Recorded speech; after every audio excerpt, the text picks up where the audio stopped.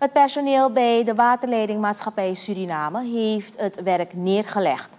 Dit bevestigt de voorzitter van de bond bij de SWM, Dwayne, Dwayne Cairo. Hij zegt dat na een algemene ledenvergadering afgelopen vrijdag is besloten het werk neer te leggen. Het personeel is ontevreden dat er geen overeenstemming is bereikt over een loonsverhoging. Als afkoopregeling is aan elke werknemer een bedrag van 15.000 SRD aangeboden. Verder hebben de directie nog de aandeelhouders ingespeeld op de afwijzing van het personeel. De ALV komt naar zeggen van Cairo maandag weer bij elkaar om te beslissen wat de verdere stappen zullen zijn. Er is geen vrijstelling verleend aan afdelingen.